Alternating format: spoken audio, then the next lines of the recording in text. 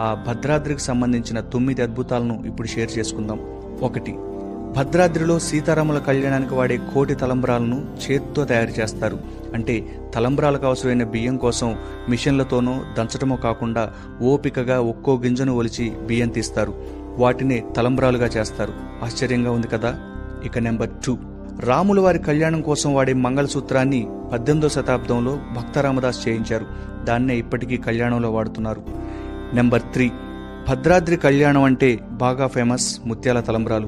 వీటిని అప్పట్లో తానీషా సమర్పిస్తే ఇప్పుడు తెలంగాణ ప్రభుత్వం సమర్పిస్తోంది. Number four. సాధారణంగా ఏ గుడిలో అయినా దేవుడికి భక్తులు ఆభరణాలు చేస్తారు కానీ భద్రాద్రి గుడిలో రాముడికి అలంకరించే నగల ఖర్చును స్వయంగా రాముడే చెల్లించుకున్నాడు. మొత్తం ఆరు లక్షల రూపాయల ఖర్చును అప్పటి తానీషాకు త్రేతాయుగో నాటి శ్రీరామ టెంకిల రూపంలో ఇచ్చారు శ్రీరామచంద్రుడు. ఇప్పటికీ ఆ నాణేలు టెంపుల్ మ్యూజియంలో చూడొచ్చు. Number five. ఆలయంలో రాముడు కొలువైన గర్భగుడి గోపురం సింగిల్ గ్రానైట్తో చెక్కారు. దాని బరువు ముప్పై ఆరు టన్నులు. Number six. అదే గర్భగుడి విమాన గోపురంపై కనిపించే సుదర్శన చక్రాన్ని ఎవరూ చేయించలేదు. గోదావరిలో పుణ్యస్నానం చేస్తుండగా కొట్టుకొచ్చి రామదాసు చేతిలోకి వచ్చింది దాన్నే అక్కడ ప్రతిష్ఠించారు.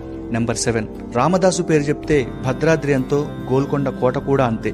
సర్కారు ఖజానాను కాజేశారన్న కోపంతో ఆయన్ని బంధించిన గది రామదాసు బందీకానగా ఇప్పటికీ కోటలో కనిపిస్తుంది. దాంట్లో స్వయంగా రామదాసు చెక్కిన సీతారామ హనుమంతుల ప్రతిమలు చూడొచ్చు. Number eight. భద్రాద్రి రాముని దర్శించిన ఆదిశంకరాచార్యులు సాక్షాత్తు వైకుంఠాన్ని అక్కడ చూశారట. అందుకే ఈ ఆలయంలో దేవుడికి వైకుంఠరాముడని పేరు. Last but not least number nine. రాముడు భద్రుడి కోరిక మేరకు భద్రగిరిపై వెలిశాడు. అందుకే గర్భగుడి పక్కనే భద్రుడి ఆకారం కూడా కొండలా కనిపిస్తుంది. దానికి చెవి ఆనించి వింటే శ్రీరామనామం వినిపిస్తుందని కొందరు చెబుతుంటారు.